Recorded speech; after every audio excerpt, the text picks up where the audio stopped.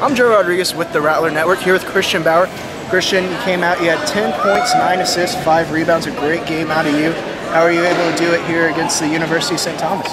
Uh, I'm just trying to do what's best for the team right now. I know I got to orchestrate a lot of stuff and uh, get our bigs involved, get everyone else involved, so they can get their get their shots up and everyone feels like they're included. It's just my job to find them on the court. And you talk about getting your bigs involved. They out rebound St. Thomas by 30 here tonight. That's huge numbers.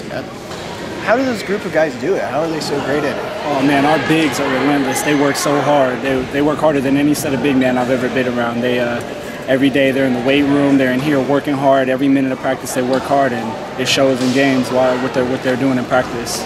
And so far in the season, you guys are 3 and 0 at home. How do you take advantage of that home court advantage? Uh, we got to protect home court at all times. Our fans, we got great fans here who come and come and support us. We just want to make sure we protect home court.